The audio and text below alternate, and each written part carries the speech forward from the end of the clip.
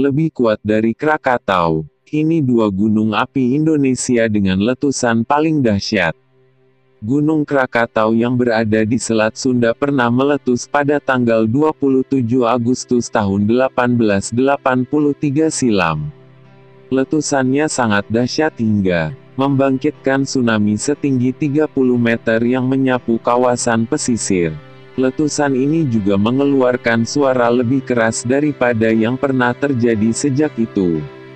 Suara yang mirip dengan dentuman senjata itu terdengar 1300 mil jauhnya di Pulau Andaman dan Nicobar, juga terdengar di jarak 2000 mil jauhnya di Papua Nugini dan Australia Barat, bahkan didengar pula di jarak 3000 mil jauhnya di Pulau Rodriguez, Samudera Hindia dekat Mauritius.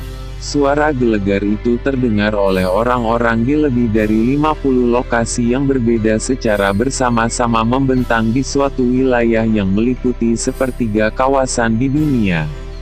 Suara gelegar itu menandai fase terdahsyat erupsi Gunung Krakatau meletus dengan kekuatan yang begitu besar sehingga mencabik-cabik pulau itu. Catatan ahli geologi menyebutkan kepulan asap mencapai 17 mil ke atmosfer dengan lontaran material. Dengan kecepatan 1600 mil per jam atau hampir setengah mil per detik. Ledakan ini menciptakan tsunami mematikan dengan gelombang setinggi 30 meter. 165 desa pesisir dan pemukiman tersapu. Dan hancur total. Secara keseluruhan, Belanda, penguasa kolonial Indonesia pada saat itu, memperkirakan korban tewas mencapai 36.417, sementara perkiraan lainnya melebihi 120.000. Kapten kapal Inggris Castle Norham yang berjarak 40 mil dari Krakatau pada saat ledakan sempat mendokumentasikan kesaksiannya. Begitu dahsyatnya ledakan sehingga gendang telinga lebih dari setengah kru saya hancur. Pikiran terakhir saya bersama istri tercinta. Saya yakin bahwa hari penghakiman telah tiba. Kawah Gunung Tambora berdiameter lebih kurang 7 km yang dipagari tebing curam sedalam 1200 meter di Kabupaten Bima dan Dompu, Nusa Tenggara Barat, Minggu, tanggal 19 Juni tahun 2011.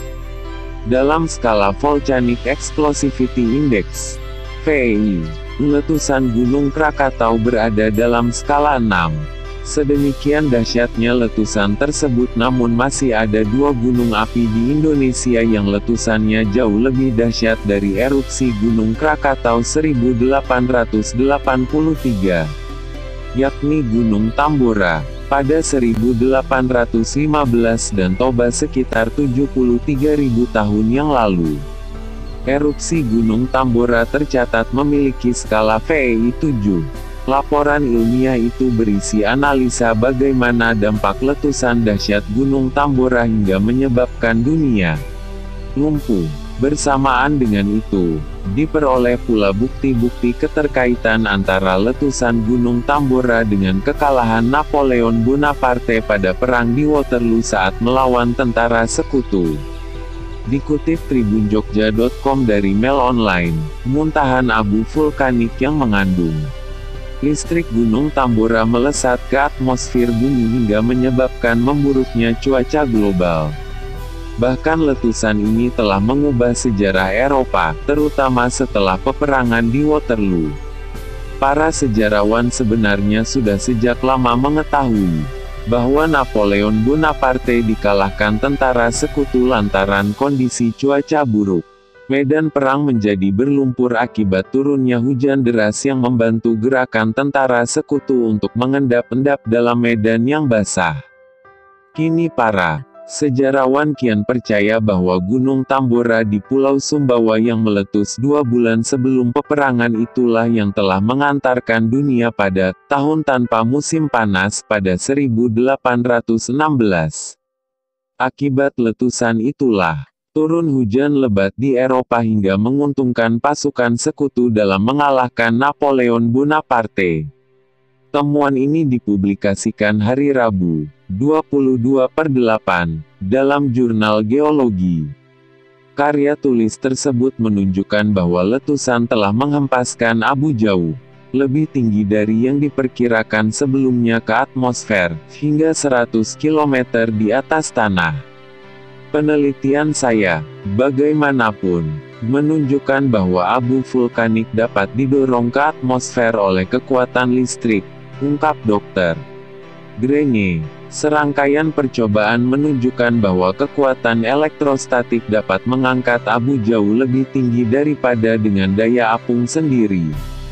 Dr. Genge menciptakan sebuah model untuk menghitung seberapa jauh abu vulkanik yang bermuatan bisa naik, dan menemukan bahwa partikel yang lebih kecil dari 0,2 juta meter dalam diameter bisa mencapai ionosfer selama erupsi besar. Gumpalan dan abu vulkanik keduanya dapat memiliki muatan listrik negatif dan, dengan demikian mendorongnya tinggi di atmosfer. Efeknya sangat mirip seperti dua magnet didorong menjauh satu sama lain jika kutub mereka cocok, tambahnya. Hasil eksperimen ini konsisten dengan catatan sejarah dari letusan lainnya. Lantaran minimnya catatan cuaca di tahun 1815, jadi untuk menguji teorinya, Dr. Genge memeriksa catatan cuaca setelah letusan 1883 gunung berapi Indonesia lainnya, yakni Gunung Krakatau.